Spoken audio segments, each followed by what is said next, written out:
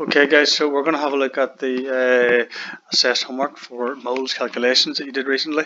Um, this is your feedback video, so if you want to pull up your own test, probably on uh, Firefly, and uh, go through um, anything that you got incorrect uh, with what I'm doing here today.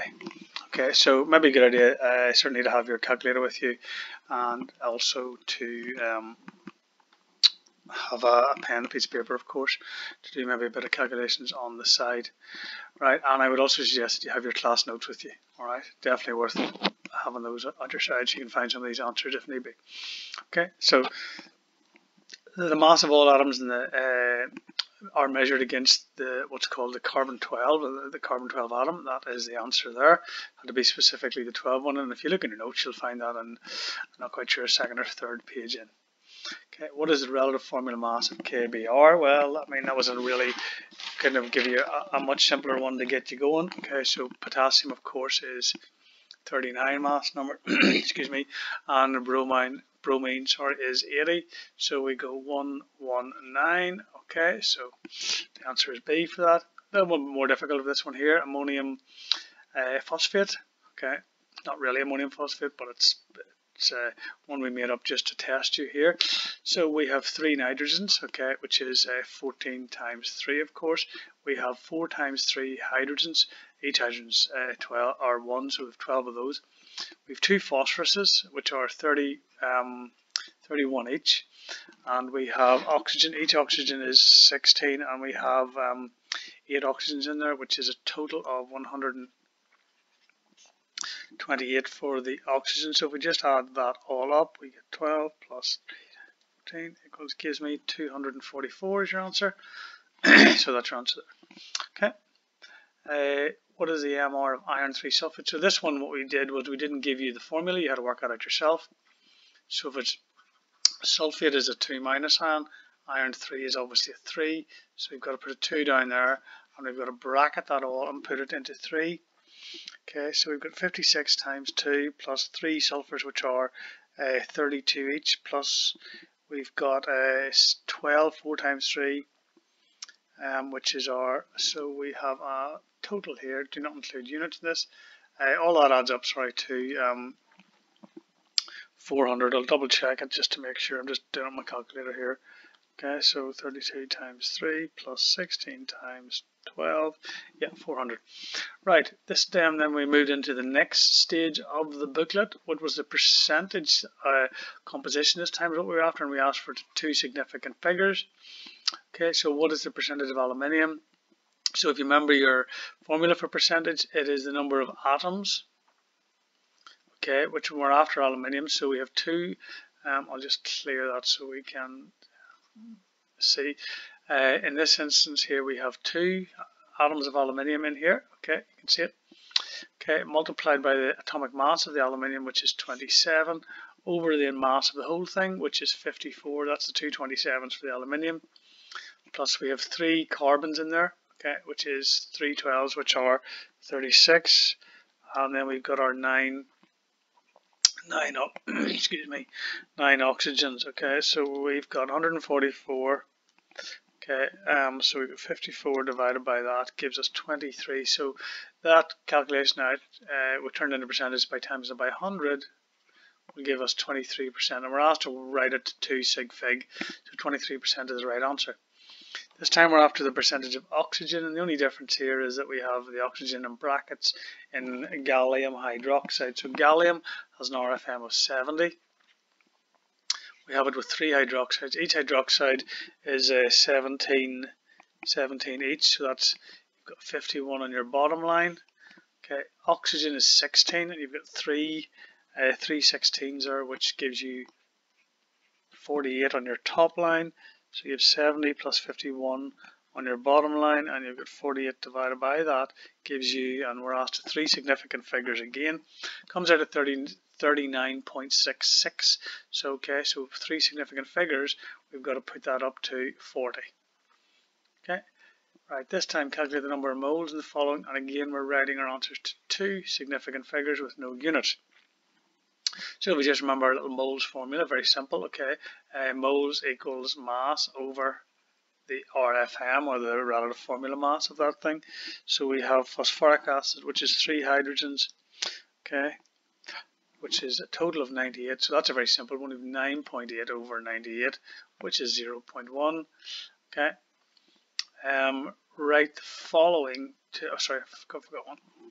So aluminium is, two aluminiums is 54 plus 32 times 3 plus the 16 times the 12 gives us an RFM there of 300 and, uh, 342 is our bottom line for that one and we have 68.4 divided by that times 100 okay well that gives us a nice 20 percent. Very simple. Okay write the following answer to 3 sig fig okay? The reason why I've asked for that is because we have a massive value here. We've got tons this time is the only difference here.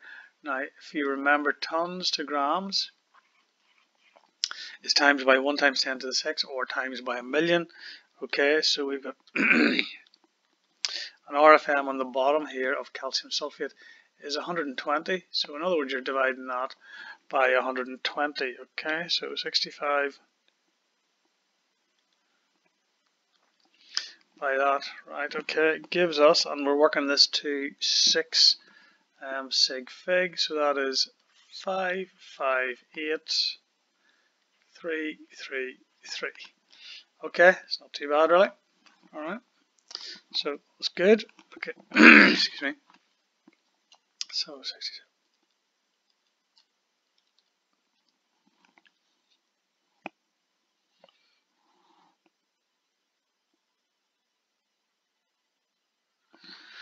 Okay, so this time we're calculating the mass in grams. So really it's just a manipulation. Now this time we're making the subject R of our uh, equation uh, a different subject. So we're making mass the subject of our equation. Okay, so um, dead easy. All we do there is that mass equals number of moles times the MR this time. And we're working to 5 sig fig here. Okay, so let's go back, right? So we had 0.33 moles, so in other words 0.33 times potassium chloride. Potassium chloride, the RFM is 39 for the potassium and 35.55. Okay, so we had 0.33 multiplied by 39 plus 35.5.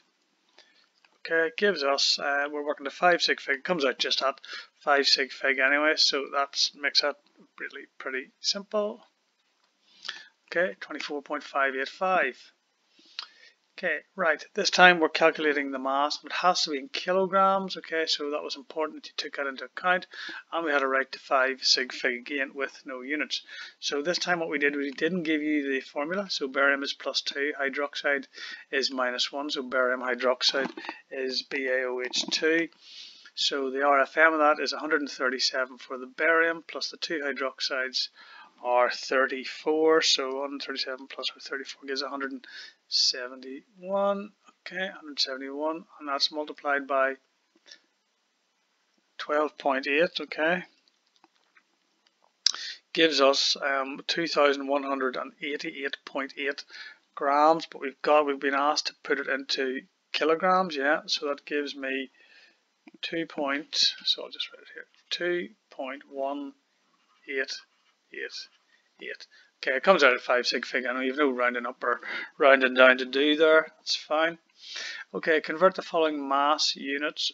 okay, so we're just going from uh, kilograms here into grams. So we're multiplying by a thousand. Okay, so I would like to think that should be pretty straightforward for you.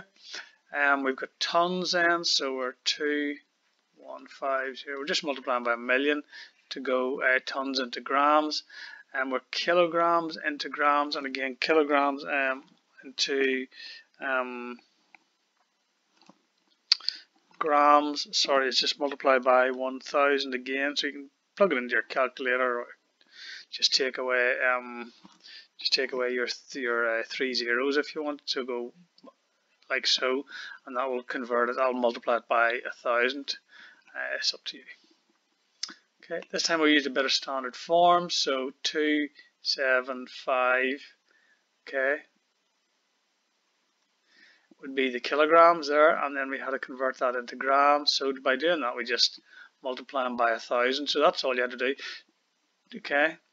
Um, I suppose you could have written 2.75 actually multiplied by 10 to the 8 would be the same as multiplying by by uh, by a thousand although it does say up here nor write your answers in standard form. So actually that answer there would not have got you credit.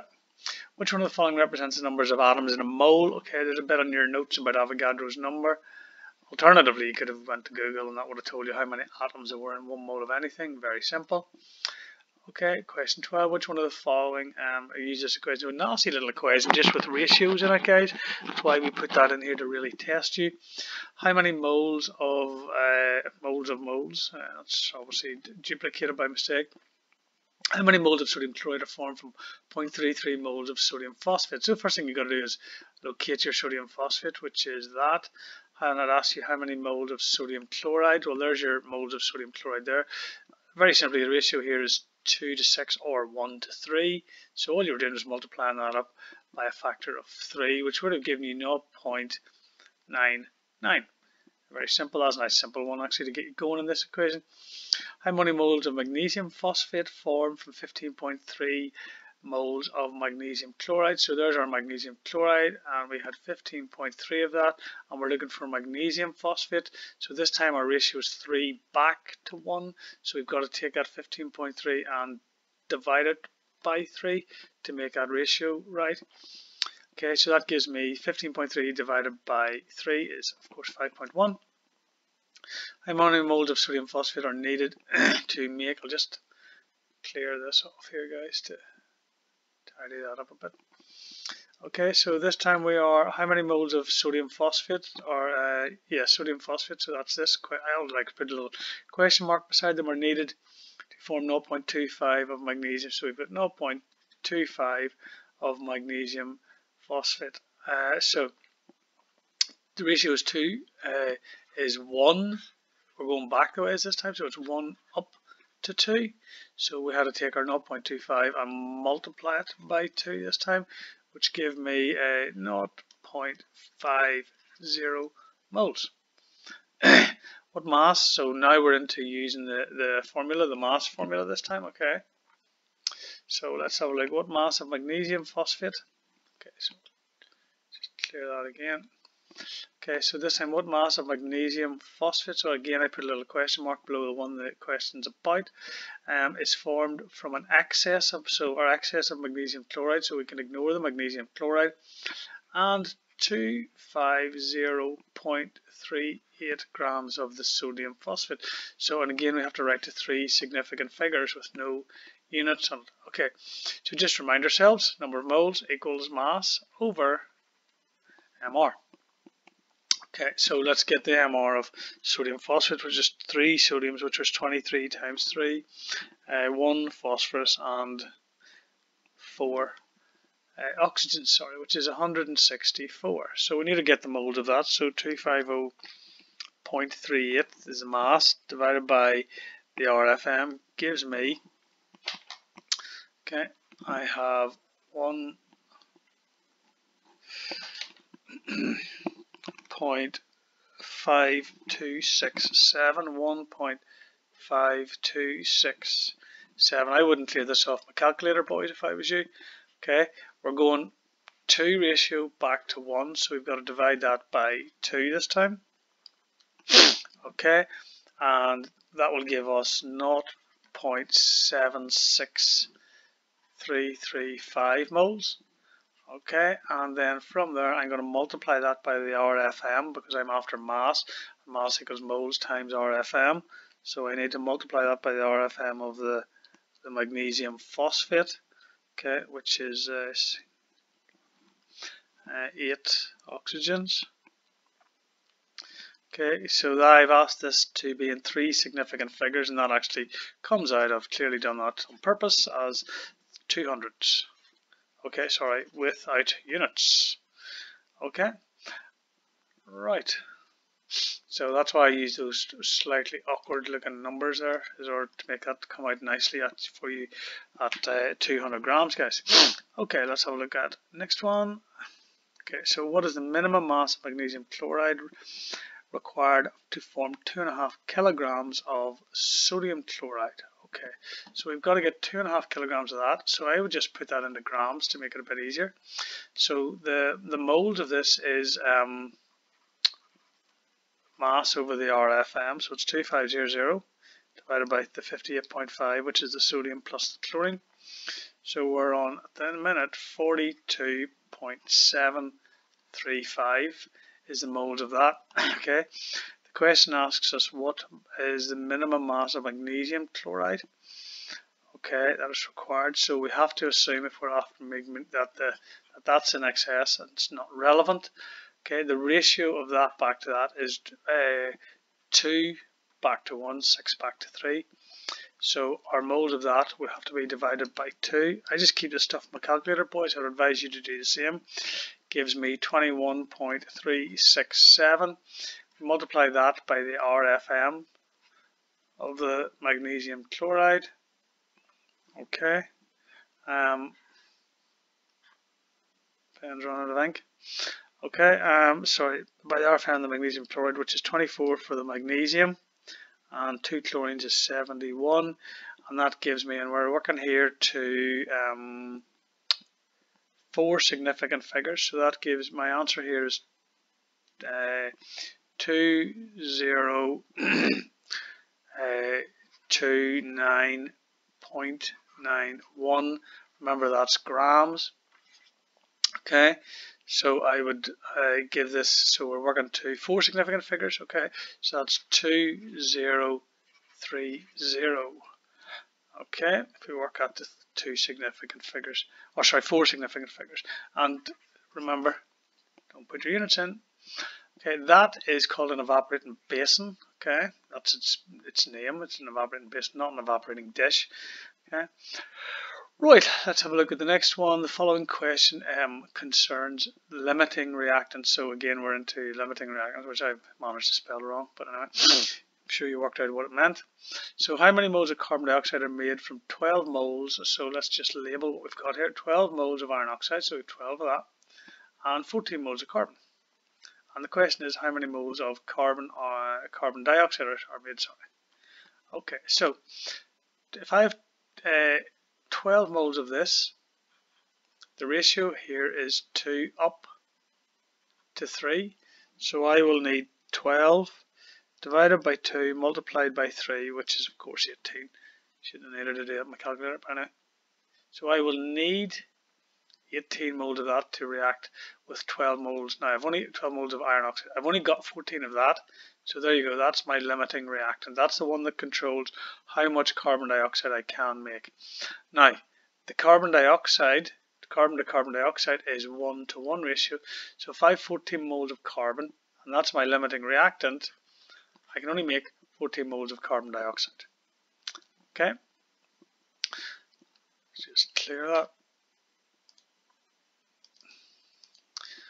right, so this time I have 0.6 moles of carbon. So let's just label it. 0.6 moles of carbon reacts with 0.35 moles of iron oxide. How many moles of iron will form? Okay, so we need to do our uh, find out which ones are limiting reactant as well. Or sorry, again, sorry. So we take our 0.35, divide it by 2 and multiply it up by 3. So this time I would need of my carbon 0.525. I've got 0.6, so this carbon is in excess again, or this time, sorry. Um, and my question is how many moles of iron. So the iron to iron oxide, you'll see the ratio is 2 up to 4, so it's 1 up to 2, so it's, you're multiplying that by 2, so your answer is 0.70. Okay. what mass? So this time we've got to bring it through to mass. We're not just asked for moles like we were in the first parts of the question. Okay, so what mass of carbon dioxide is formed when 56 grams of iron oxide? So again, this is going to be a more complicated one, and you can see it's worth, uh, in fact, um, no, it's only worth one more. Probably should have made it worth two, but I know. Okay, so 56 um, grams of iron was reacted with 7 grams of so this time we're going to get the moles of these things. Okay. before we can go actually go any further. So the moles of this, sorry, that's over 160. Moles of that are 0.35. Moles of this are 7 divided by our 12 is 0.583. So again, we need to work out which one is in excess. Okay, so if I have that number of moles of that, I would need 0.3889 moles of this to react with it. I've only got 0.35, so that is my limiting reactant here.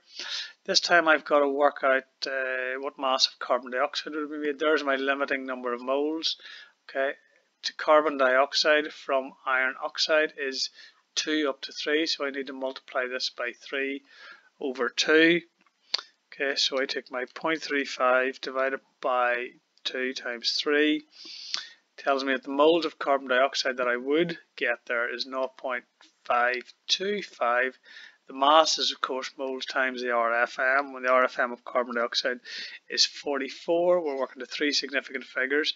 It comes out at exactly three significant figures, okay? And the answer is uh, 23.1. No units again. You put units on, the computer will mark it wrong, I'm afraid.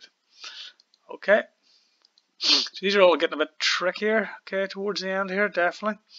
What mass of carbon is required to react with 30 grams of iron oxide? So let's take our 30 grams of that again. Our RFM, we already worked it out, was 160. Um, and we had to form 16.8 grams of iron. Okay, so 16.8 grams of iron. Right, so let's have a look at this. 30 grams of iron oxide, so let's get our moles. 30 grams of iron oxide um, divided by our 160 tells me that I have got 0.1875 of that. Um, our iron is 56, so let's just do that. 16.8 divided by 56 gives me 0.3. Now, this is a 2 up 1 up to 2 ratio here. Okay, so that tells me if I had 0.1875 okay, of my iron oxide, that would give me 0.375 moles of my pure iron, but I've only got 0.3 moles, which means my carbon must be a limiting reactant in here.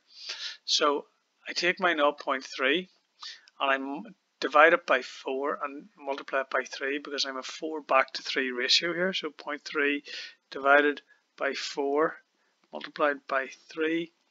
Okay, that tells me that I, to get that amount of iron, I had to start off with 0.225 moles of carbon.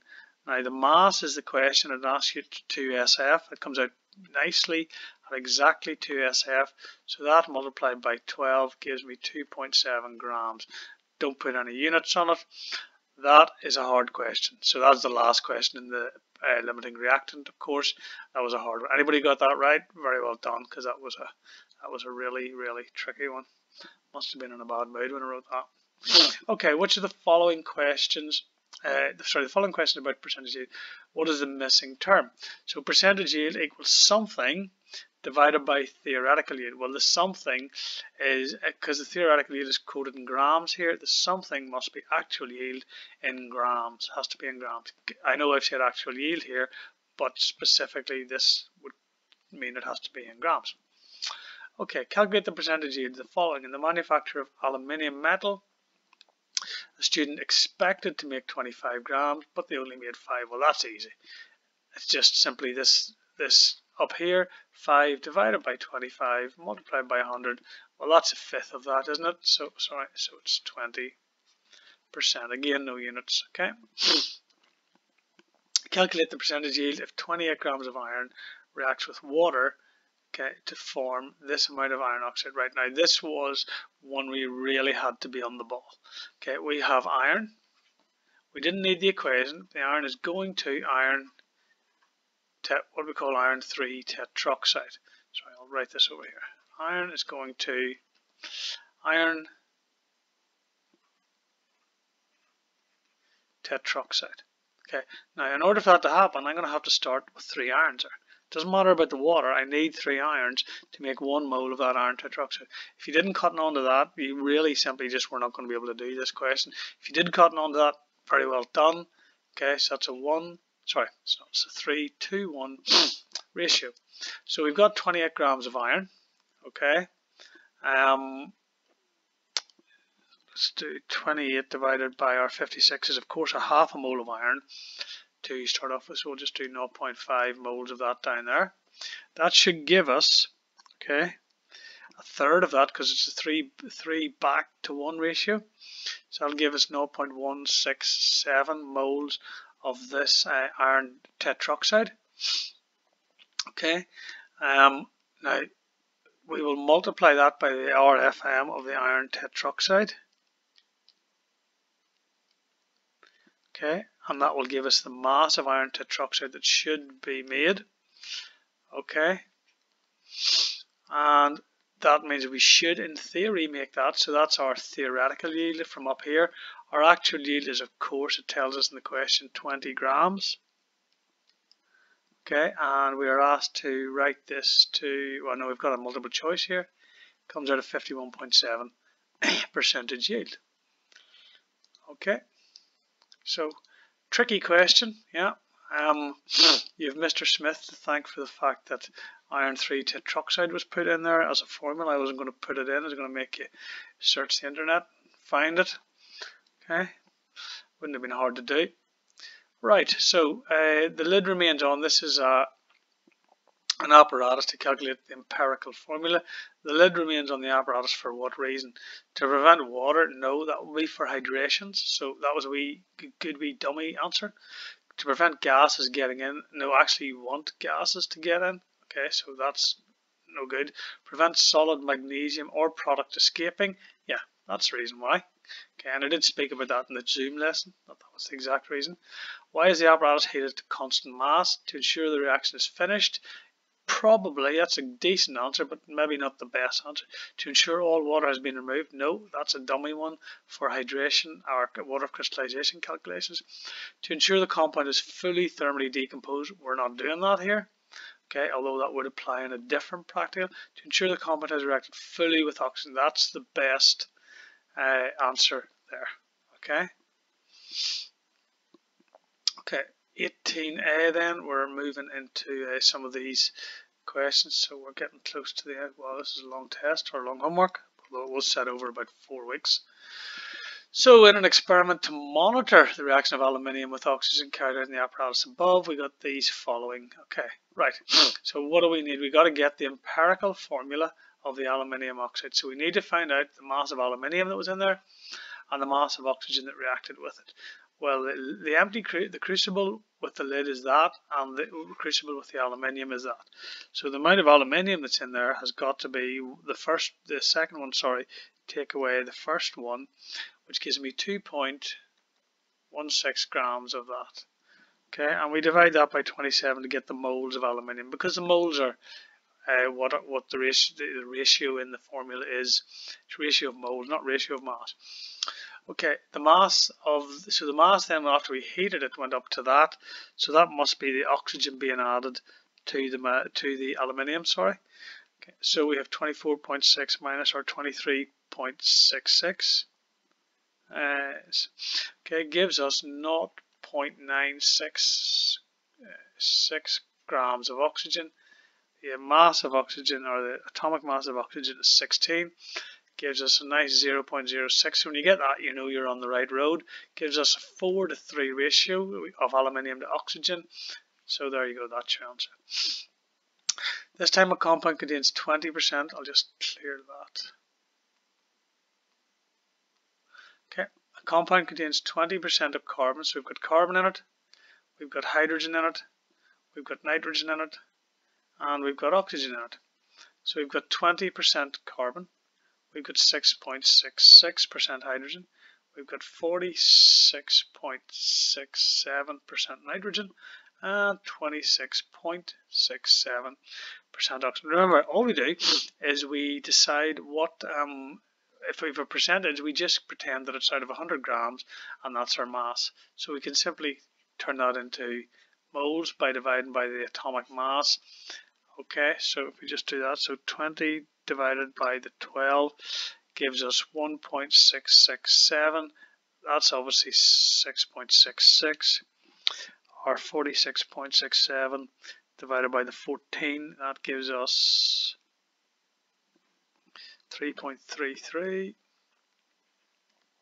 So you can already see patterns arising here that that you know that's double that and you can see that that's double that okay so you can kind of start to see uh, a decent ratio appearing in front of your eyes even as you as you do this it's good to pick up on that on this one here at the end is 1.667 as well so that's the same ratio so a ratio is 1 to 2 to 4 to 1 so we're looking over here for a ratio of one carbon to four hydrogens. So let's see, one carbon.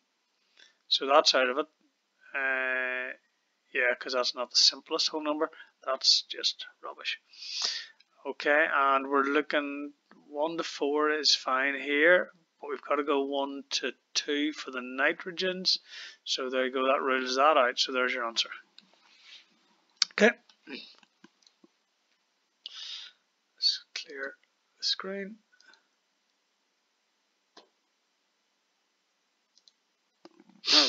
Okay, so compound contains 13 point, so we've got calcium in it, we've got oxygen in it, we've got hydrogen in it.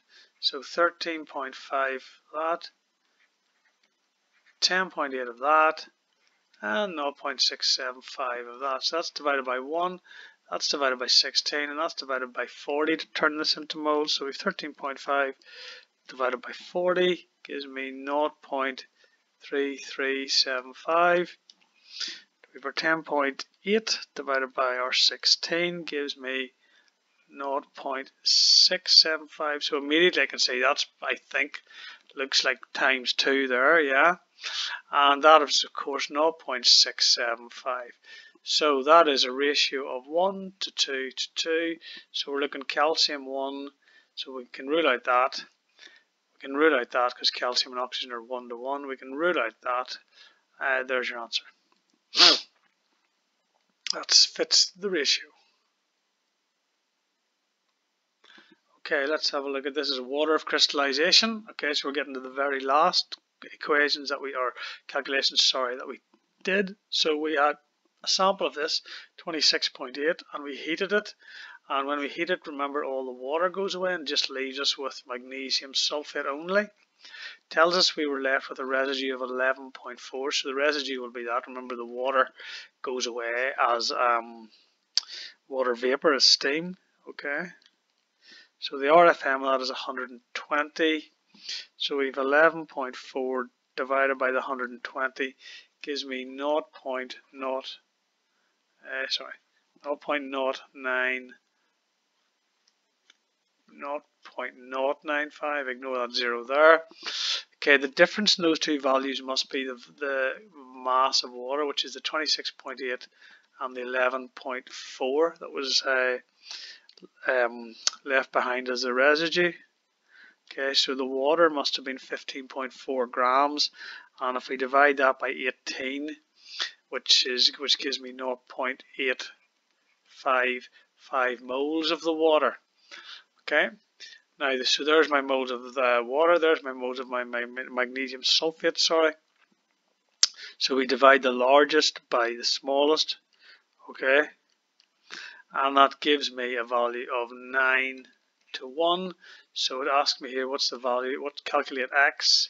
So x is 9. There's 9 waters for 1 magnesium sulfate. Okay, in the experiment above, the student should keep the lid on the crucible.